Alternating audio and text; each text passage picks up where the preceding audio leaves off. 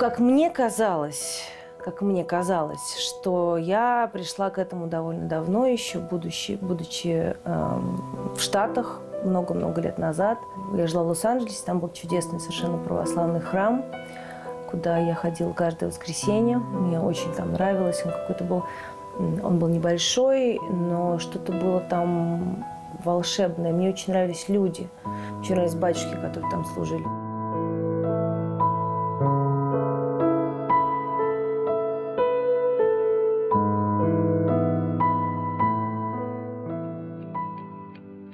Поиски Бога начались в самый тяжелый момент ее жизни, когда актриса Евгения Хременко осталась одна с двумя детьми. Муж, известный актер Константин Соловьев, после четырех лет семейной жизни ушел к другой женщине, и вот уже шесть лет не видится с сыновьями. Сразу вслед за уходом мужа умерла мама. Этот тяжелейший период уныния Женю спасал только храм. Она много лет ходит с детьми именно сюда, в храм всех святых на Соколе.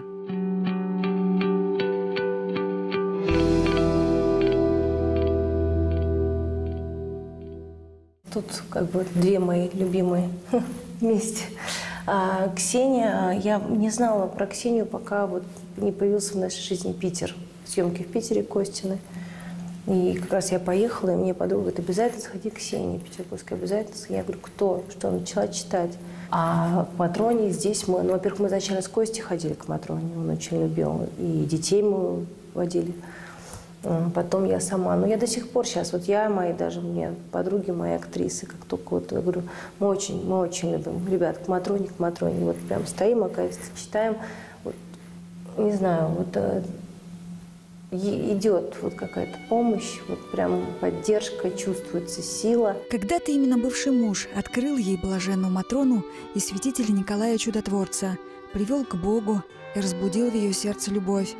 Познакомились с Женей и Константин в 2009-м на съемочной площадке фильма «Кружева». Срочно нужна была англоязычная актриса, а Женя много лет прожила в Америке и прекрасно владела английским. Но на руках был билет в Лос-Анджелес, и спонтанно возникшая съемка совсем не входила в ее планы. Мне сказали, вы будете сниматься с женой главного героя, вы будете беременные. И мне прикрепили живот.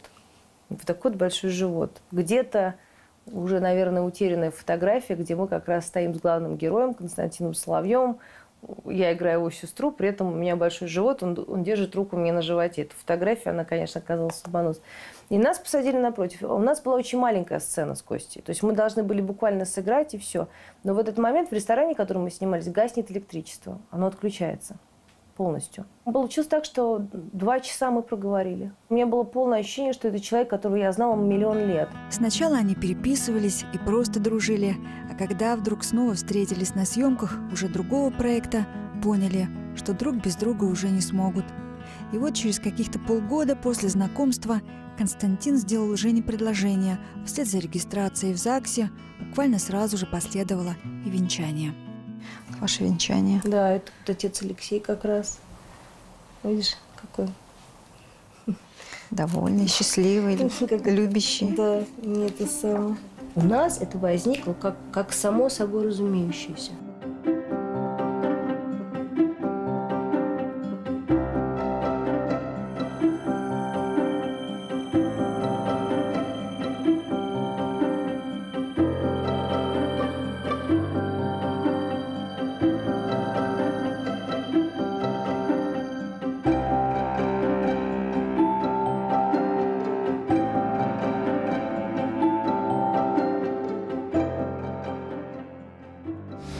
Вас Господь, многих и благих лет вам жизни, того счастья, Боже, блаженства, потому что наивысшее счастье есть блаженство. Женя и ее семья никогда не сомневались в искренности его чувства. Про таких, как Константин, говорят, он носил ее на руках и сдувал пылинки. А когда узнал, что супруга ждет ребенка, был на седьмом небе от счастья. Присутствовал на всех УЗИ – Радовался, что будет сын, а когда при рождении узнал, что у малыша проблемы с сердцем, молился, не переставая, и не дал отчаяться жене. И когда Даня выходил, он хлебнул э, в легкие воду, попала вода. В результате его положили сразу же в, в реанимацию. И тут Костя, он был очень духовный, он был очень верующий, он, он, он, он был удивительный человек. Он меня заставлял вот так вот вставать, мы вставали, и он говорит, давай, вот сейчас прям всю свою любовь, всю свою веру туда. Он говорит, забудь, что говорят врачи, это все не важно. Он говорит, поверь.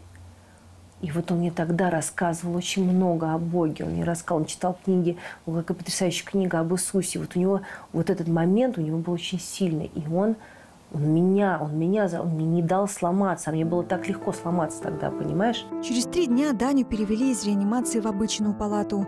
Но при выписке врачи предупредили. У ребенка порог сердца. Нужна операция. Значит так.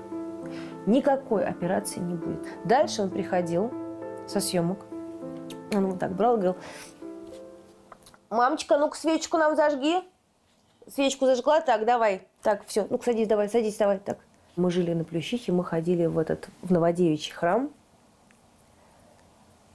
Корзиночка, значит, ставим его. Я сижу с ним, этот стоит. И он мне говорит, верь. Верь, говорит. Полгода, шесть месяцев, да, мне звонят. из перинатального центра. УЗИ надо делать. Мамаша, вы что? Вы как бы где? Это УЗИ я не забуду никогда. Этого бедного ребенка возили вот так. Жик, жик, жик, потому что они сидели, они не могли найти это окно. Ничего не было. Никакой операции не было. Абсолютно здоровый ребенок ты говоришь историю любви. Их истории любви сыну Дане на днях исполнится 10. Когда папа ушел, ему было всего три года. Но, несмотря на столь юный возраст, Даня отчетливо помнит все, что с ним связано. Он до сих пор не может смириться с его уходом.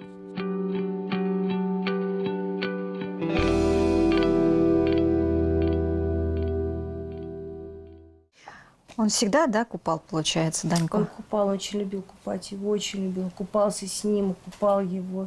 Не боялся, я боялась. У меня вначале руки дрожали. Знаешь, как маленький да, такой. Да, да, Кажется, сейчас нахлебается а, воды. Да, абсолютно. Да. У него еще такие ручища у Костяна. Он прям вот, и Даня прям раз, и все. И как будто в раковине, в такой ракушке, знаешь, да, такой, да, да. да. Вот папа купает Даню, кормит, одевает. А вот Даня с ним на прогулке. Фотографий много, и на них все понятно без слов. Любящий тогда отец Константин Соловьев сам всегда распечатывал фото, фиксировал каждый новый шаг жизни любимого сына. Неудивительно, что Даня так хорошо его запомнил. Мне говорят специалисты, ему уже было три года. Прошло уже столько времени. Друзья мои, я не могу ответить на вопрос, почему Даня помнит, в каком костюме папа был последний раз, когда он уходил он приехал со съемок, это Даня мне, я этого не помню. Он говорит, у него, помнишь, Нан, у него была кабура. Он приехал со съемок, он играл полицейского, у него был голубой костюм. Я была... Вы мне что хотите сказать? Ну, наверное, вы ему об этом рассказываете. Наверное, нет. Я своему ребенку не желаю страдать, страданий.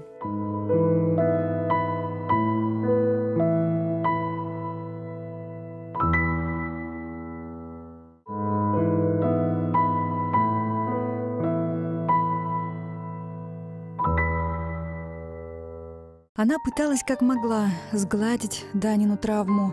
Рассказывала про папу только хорошее. Говорила, что Даня живет в его сердце, и тот с ним когда-нибудь обязательно встретится. Данька слушал и молча проживал эту боль. Помня мамины слова про хорошего папу, он каждый день за него молится. Я не помню, когда мы эту молитву начали с мамой говорить. Но, наверное... Очень рано. Мне кажется, тебе было годика три. Ну, когда еще папа у нас был. Я благодарю ну, всех, кто у меня есть. Еще я очень, я благодарю папу. Ну, хотя бы три года вот с нами было, но я все равно благодарю его, то, что он был с нами хотя бы три года. И вот. Но когда он ушел, я не мог это пережить. И вот э, теперь я говорю ему спасибо, что хотя бы три года с нами побыл. Когда мне задавались вопросы, я выбрала тактику не говорить о нем плохо.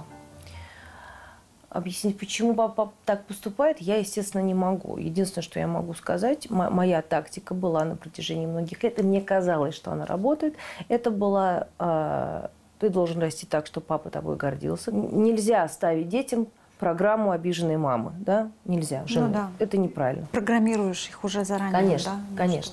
Потому что когда-нибудь эта встреча произойдет, когда-нибудь, и уже должен решать сам ребенок. Это уже между ними, это не мое. Однако тактика про хорошего папу не выдержала проверку временем. У Дани появились серьезные психологические проблемы. Стали возникать странные вопросы, необоснованные страхи. Когда, наконец, психолог посоветовал увезти Даню на некоторое время из города, Женя сразу же отправила сыном по святым местам на Кипр. Есть там одна у нас очень хорошая знакомая, я ей рассказываю ситуацию, она говорит, слушай, есть монастырь очень, очень, очень старый, говорит, там, говорит, выносят поезд Богородицы, эти старцы молятся, говорит, детишек часто туда, не всем они, то есть как бы чувствуют, ну, вопросы задают, в горах, давай съездим. Я говорю, давай. Едем мы туда, и дальше происходит реально Божий промысел. Наташа, этот день я не забуду никогда.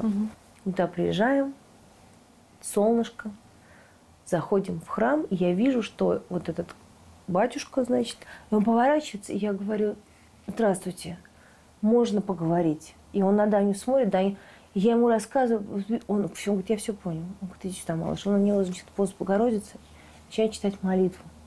Этот улыбается, стоит. И он закончил, он поворачивается, говорит, все нормально будет, все хорошо. Наташа, я поворачиваюсь уходить, а за нами 30 человек очередь образовалась в этот момент. Изменения начались сразу же по возвращению из монастыря.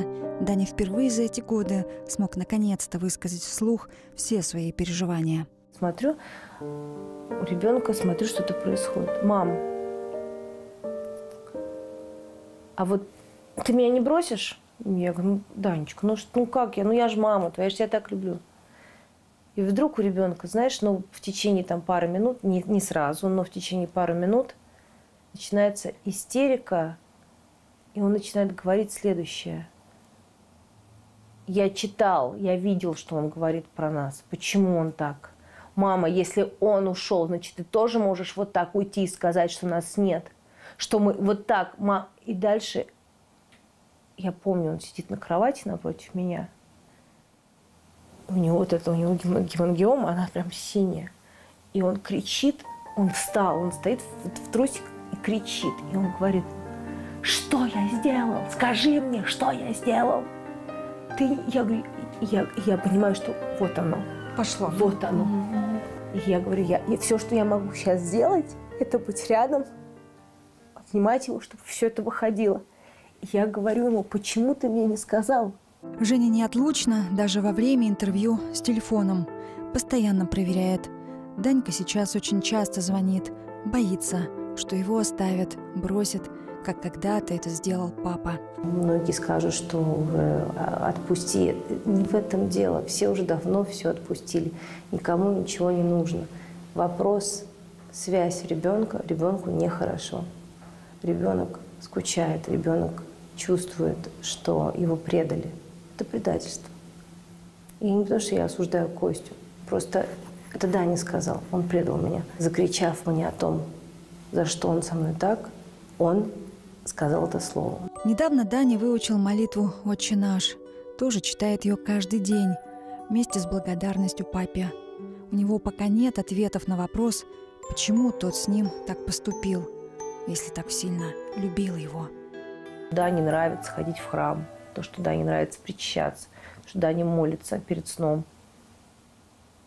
Не потому, что ему кто-то заставляет. Сейчас он выучил «Отче наш». Он обязательно «Отче наш» говорит три раза. Он мне прям говорит, мам, нет, ни одного раза мало, три раза. Я говорю, слушай, вот сколько хочешь, хоть сто. Вот прям вот твое.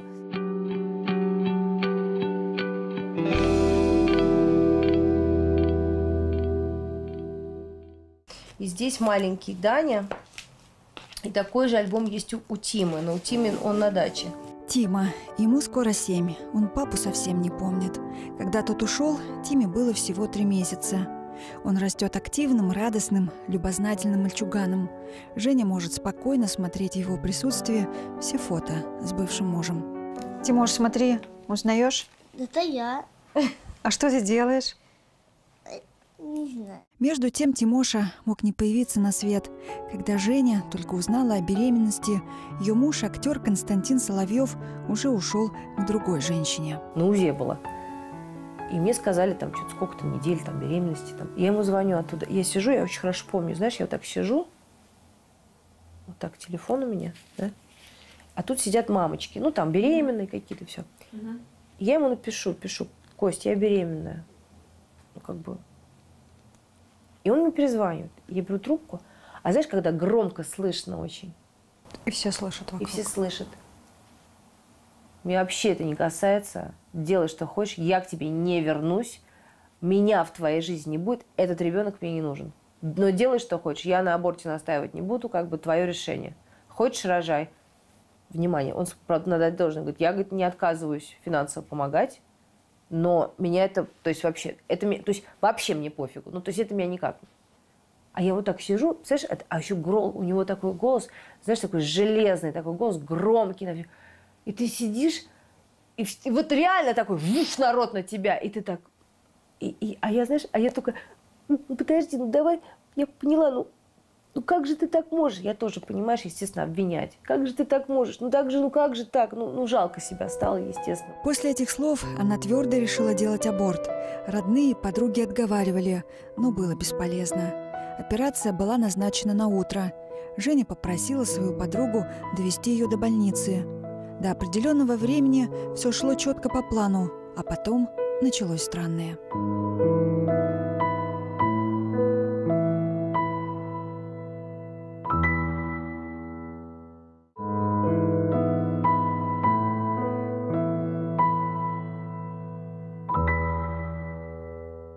Во вторник утром мне звонит вот эта вот моя другая подруга, которая меня поддержала. Давай, как говорит, мне к тебе надо прийти срочно. Срочно прийти надо, утро. Оказалось, что как раз в ночь перед абортом ее подруге приснился сон, настолько явный, что она, человек со скептическим мышлением, атеистка, поверила. Она заходит, белая, белая, садится и говорит, оставляй ребенка. Я говорю, чего? Она говорит, я не знаю, говорит, что это такое. Я, говорит, не знаю, что это такое, говорит, но сплю, говорит, я ночью, вчера. И будет, говорит, меня чувствую во сне, вот как вот меня за пальчик. Я, говорит, открываю глаза и вижу сон. Вот, говорит, но при этом сон, как бы квартира моя, вот муж спит, дети, и сидит ребенок. И говорит ей, скажи маме, чтобы она меня родила. Пусть она меня родит. Она говорит, говорит, такой говорит, хорошенький, говорит. На тебя, говорит, похож, ну, как видишь. И говорит, пусть она не боится, а вот если она не родит, то плохо будет. Рассказ подруги в последний момент перед абортом и стал тем препятствием, которое остановило Евгению Хременко от рокового шага в пропасть. Она все тогда поняла и передумала. У меня истерика, я понимаю, что со мной не шутят сейчас.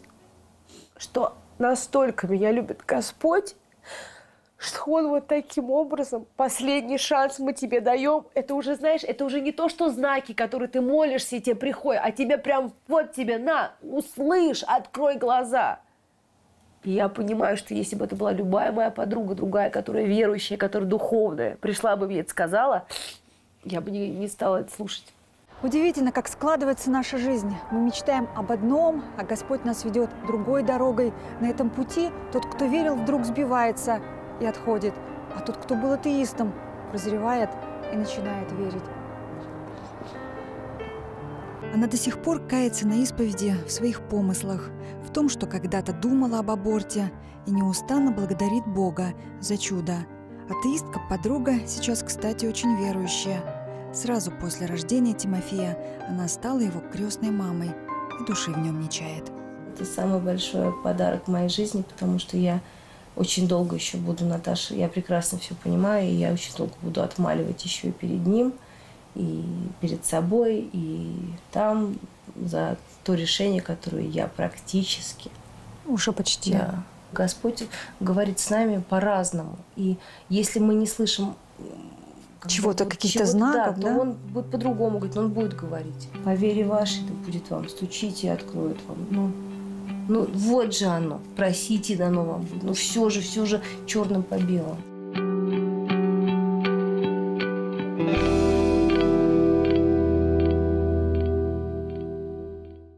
Боль, которую довелось пережить Жене, не пожелаешь и врагу.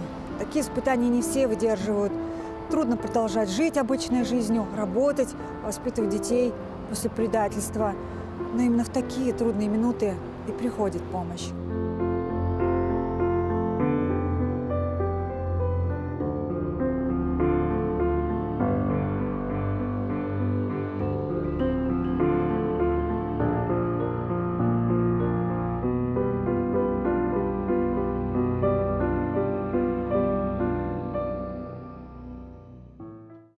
Просто не знала, куда идти, потому что не было мамы рядом. Я не из тех, кто плачется подругам. Ну, просто зачем? Дома дети, которым ты нужна сильная. Я вот бежала, приходила на ватных ногах каких-то приходила, просто иногда стояла, иногда не было сил, садилась. И просто вот, ты знаешь, иногда просила, иногда молилась, а иногда просто молчала. Просто вот побыть в моменте. И как-то вот, знаешь, посидишь, посидишь, выходишь, и как-то вот сразу на место все встает, и начинаешь функционировать, и понимаешь, что жизнь, она не закончилась, что все для чего-то. Она никого не винит. Знает, дыма без огня не бывает. В том, что произошло, есть и ее вина. Что Николай, любимая икона Кости как раз была. Звоночек был, когда Костю утвердили на питерский проект «Литейный» на долгое время. А Данька был очень маленький.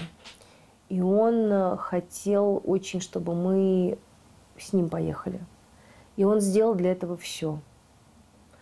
Он взял водителя, он нашел прекрасную квартиру. Он сделал для этого все, Наташа.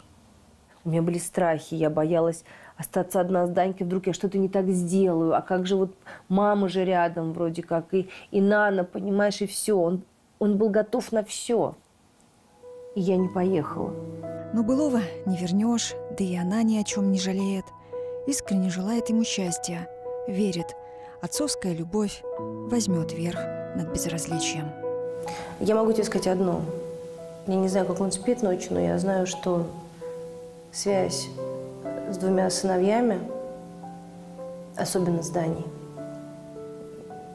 она, она не могла исчезнуть. Я в это не верю. Может быть, я наивная, может быть, я себе надумала, может быть, это успокоение.